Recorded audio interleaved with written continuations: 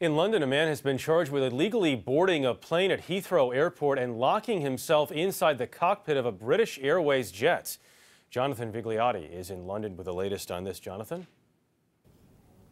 Good evening, Jeff. Officials say a man broke through a security fence on London Heathrow's perimeter and then ran to a British Airways hangar where an empty Boeing 747 was parked with its doors unlocked. The man, identified as a 38-year-old Portuguese national, then locked himself inside the high-security cockpit with full access to all of the controls. Emergency crews were quick to the scene but had a difficult time breaching the cockpit's bomb-proof doors.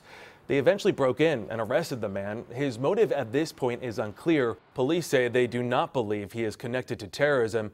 Jeff, in a statement, Heathrow says they are working with police and security is under constant review. Jonathan, thank you very much.